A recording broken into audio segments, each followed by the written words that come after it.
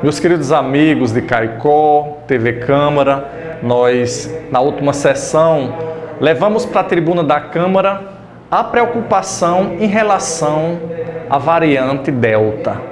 Nós caicoenses, nós seridoenses, nós tivemos uma baixa nos casos de Covid. Mas nós, pelas, pelas redes sociais, pelos meios de comunicações, nós já sabemos que existe uma variante Delta na capital do estado. Então, andando pela Feira Livre no sábado passado, eu observei que as medidas de proteção elas não estão sendo cumpridas, que nós baixamos a guarda em relação ao uso do álcool em gel, em relação ao uso da máscara, em relação ao distanciamento social.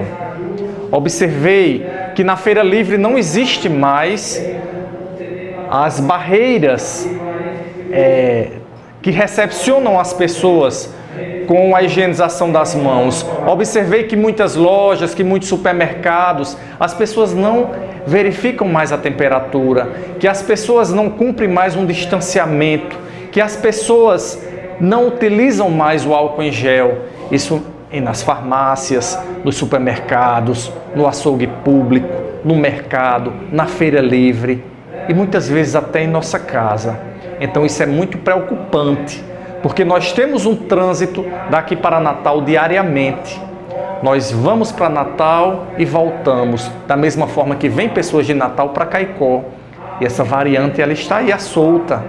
O Covid nós transmitimos de um para uma pessoa. Essa variante nós transmitimos para sete pessoas, para oito pessoas. É algo que se contamina muito fácil. Nós não queremos mais voltar a fechar nosso comércio. Nós não queremos mais um lockdown. Nós não queremos mais ficar em casa.